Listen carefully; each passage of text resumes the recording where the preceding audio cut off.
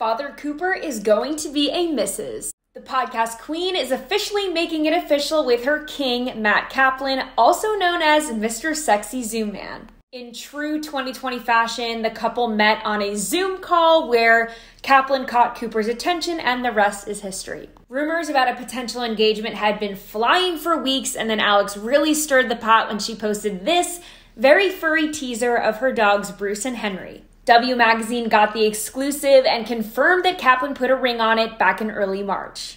Kaplan got down on one knee and said, You're my soulmate, the love of my life. You make me a better man. Please do me the honor of marrying me.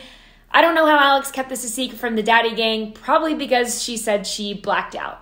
The countdown is on for when the daddy gang can stop calling her daddy and start calling her wifey.